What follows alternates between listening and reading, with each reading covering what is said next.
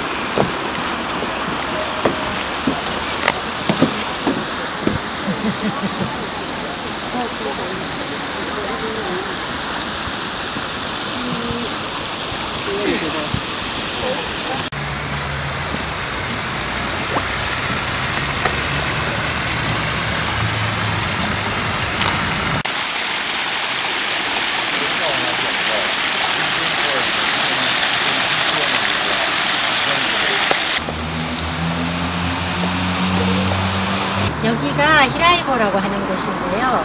여기서 보는 경치가 이 아, 리즈린 공원 안에서는 가장 아름답다고 합니다. 그리고 에, 잡지에 리즈린 공원이 소개될 때도 여기서 찍은 사진을 많이 잡지에 어, 싣습니다.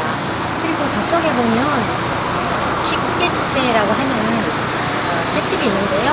거기서 이쪽을 내려다보는 경치가 이쪽을 보는 경치가 두 번째로 어, 이 공원에서는 아름다운 경치라고 합니다. 그리고 뒤에 보면 예, 작은 돌이 세 개 있는데요. 그것이 이쪽 정원에 아무것도 아닌 돌 같지만 포인트가 된다고 하네요.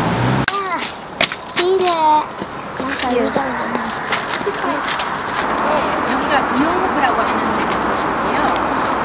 이곳, 이, 이 연못의 포인트는 저쪽에서 보이는 빨간 다리라고 합니다.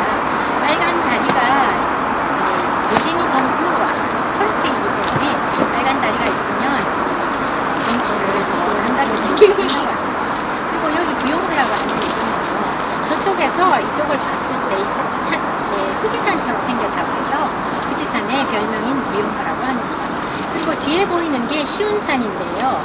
예, 시운산은 자연 그대로의 산이고 여기 정원은 인간이 만든 인공적인 그런 정원인데 자연적인 산이 있음으로 해서 이 정원이 더 아름답게 보이도록 그렇게 연출했다고 합니다. 네, 이곳 예, 디츠린 공원은요 380년 전에 예, 이곳을 통치하던 그 통치자 나이묘라고 하는데요. 예, 통치자의 정원이었다고 합니다.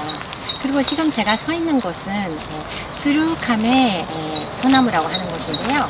츠루는 학을 의미하고 카메는 거북이를 의미합니다. 예, 여러분 보시면 아시겠지만 뒤에 바위가 예, 거북이 모양을 하고 있고요. 그 다음에 그 위에 소나무가 학이 날아가는 모양을 하고 있습니다.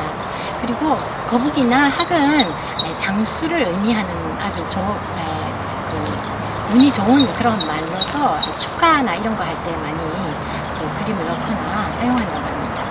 이 아, 학 거북이 아, 소나무는 이 리츠린 공원 안에서 제일 유명한 소나무입니다.